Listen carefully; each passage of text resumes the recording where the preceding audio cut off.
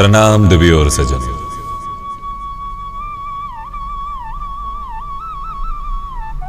आज एक छोटा बच्चा की कहानी लेकर आए हैं, लेकिन वो छोटा बच्चा ही कुछ इंसान की ज़िंदगी में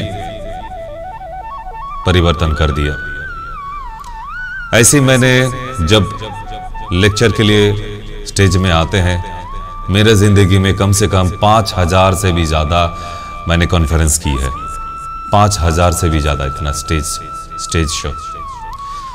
खाली हमारे बंगाल नहीं, खाली हमारे हिंदुस्तान नहीं, बल्कि जब यूएसए थे, वहाँ भी लेक्चर दिए हुए हैं। बहुत सारे फ़ैन फॉलोअर भी हो गए थे। अभी भी करता हूँ।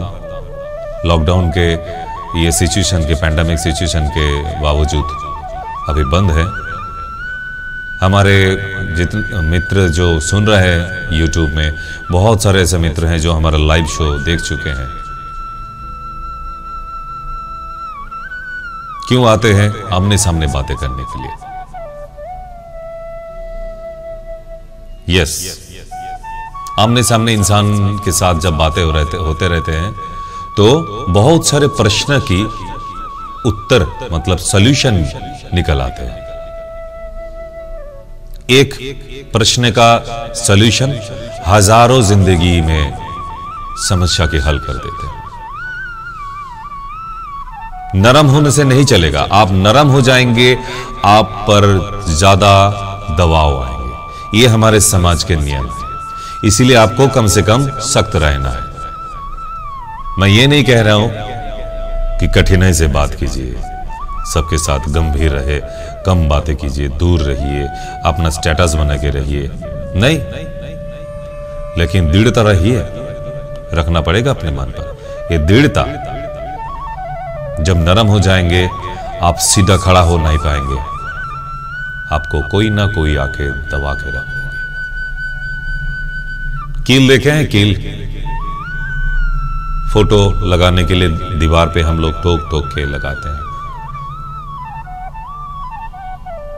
तो एक दीवार पे फ़ोटो लगा रहा है कोई बंदा। धाम धाम से वो हथौड़ी मार, हथौड़ा मार रहा है मार रहा है लेकिन कील जब नरम रहता है कभी कभी तो टेढ़ा हो जाता है। टेढ़ा हो जाने के बाद उसको छोड़ देते हैं। फिर दूसरा किल फिर उसमें मार रहा है, मार रहा है, फिर वो टेरा हो गया, फिर उसको फेंक दिया। लेकिन जो सीधा जाएगा दीवार के अंदर, उसके ऊपर ज़्यादा दबाव आएगा, ज़्यादा ठोकेगा उसको। ठोक ठोक के, ठोक ठोक के दीवार के अंदर। मतलब आप ज़्यादा सीधा इंसान होंगे तो आप पर ज़्यादा ठोकने के लिए आ जाएगा इंसान आपकी समाज से। इसीलिए आपको दृढ़ता रखना पड़ेगा और थोड़ा टेरा भी होना पड़ेगा ज़रूरत इतना ज़रूरत चाहिए। यह नहीं कि हर बात हर इंसान के साथ टेढ़ा टेढ़ा बात कीजिए, टेढ़ा रहिएगा। नहीं, जब ज़रूरत होगा तो टेढ़ा बन जाइए। आपको छुटकारा मिल जाएगा। ज़्यादा सीधा रहेंगे तो आपको ही ज़्यादा पीट पीट के, ठोक ठोक के दीवार के अंदर आप हिल नहीं पाएँगे। आपको हिलने का जगह नहीं छोड़ेंगे हमारे समाज।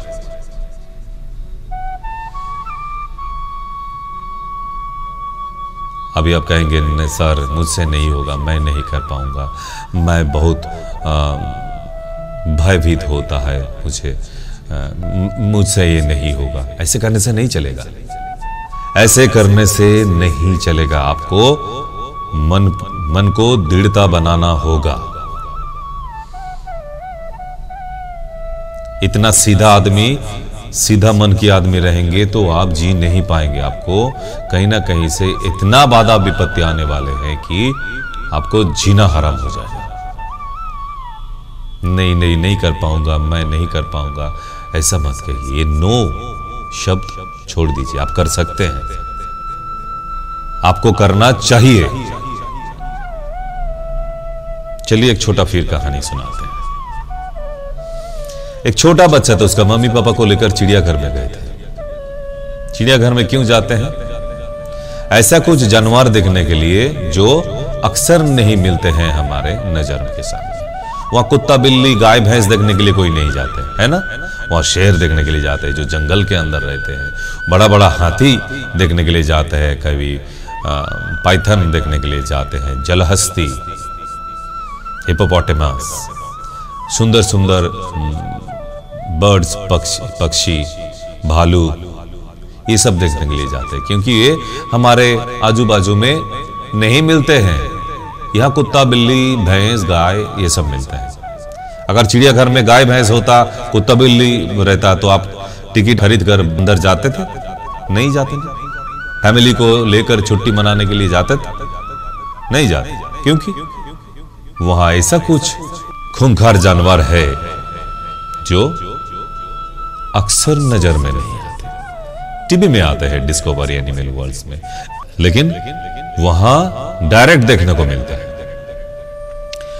तो छोटा बच्चा को लेकर जब वह हाथी के सामने गए हैं, सब शेर देखने के बाद टाइगर देखने के बाद, भालू देख लिया, अब हाथी क्या सामने आए हाथी को देखने के बाद ही छोटा पाँच साल के बच्चा चीख उठा, पापा पापा पापा ये हाथी का पैर में जंजीर क्यों बांधा हुआ है? आपने तो कहानी में सुनाया था मुझे कि हाथी का शरीर में बहुत ताकत है, पापा। वो पेड़ को उठा के फेंक सकता है, घर तोड़ सकता है दीवार तोड़ सकता है। अरे, यहाँ इतना पतला सा जंजीर है उसका पैर में, वो तोड़ नहीं सकता है, पापा? पापा तो दिमाग फिर खराब होने लगा। हर घर में पाँच साल की बच्चा एक एक दिन में दो हज़ार सवाल पूछते हैं उसका मम्मी पापा से। ये बच्चा बच्चे का आदत है।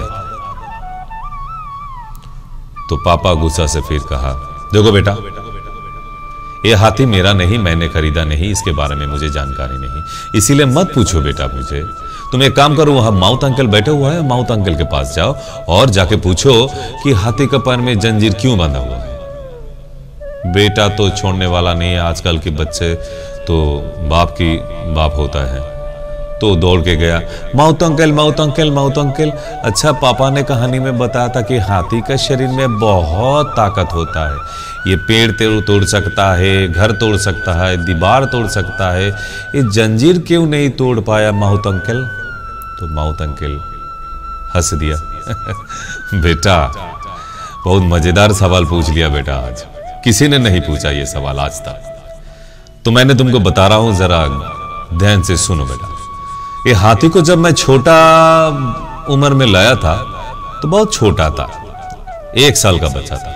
तो एक साल का बच्चे का पैर में मैं कपड़े का जंजीर जैसा बना के मैंने बाँध के रखा था। और वो बड़ा होता गया बड़ा होता गया फिर उसका पैर का कपड़े छोड़कर रस, रस्सी से बाँध दिया।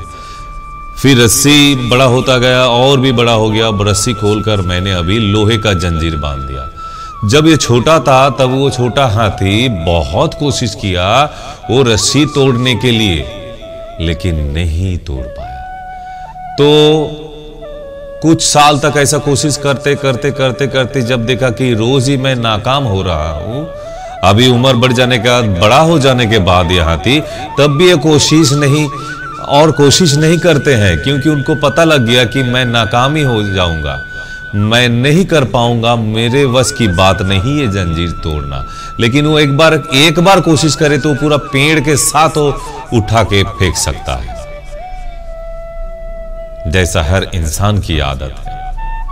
कब एक बार कोशिश किया था कब आपने? आज भी आपने नहीं हुआ था तब? आज की आप सोच रहे हैं कि नहीं, और कोशिश नहीं करेंगे। मेरे बस की बात नहीं, तब नहीं हुआ था, अभी भी नहीं होगा।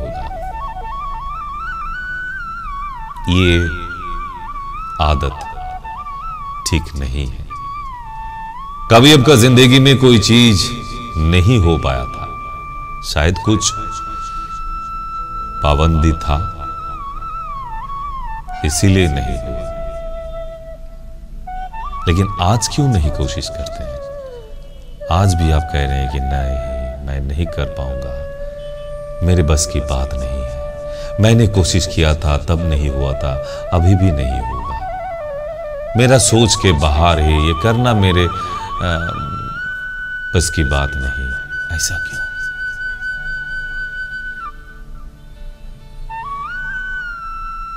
हाथी जैसा सोचिए मत। इंसान जैसा सोचिए तभी तो हम लोग इंसान हैं। Human is the most development brain almost development brain ये जंगल की पशु के साथ इंसान की फ़र्क क्या है? कभी पूछा है ये? इसीलिए है कि इंसान जो सोच सकता है, वो कर सकता है। और जानवर खाली सोच सकता है, कर नहीं सकता है। यही फ़र्क है। हम लोग जो सोचेंगे, वो कर सकते हैं। तो दोस्तों, सोच जब लिया, कर डालिए। देखिए, इसमें ज़िंदगी का परिवर्तन ज़रूर आ जाएगा। होना ही है।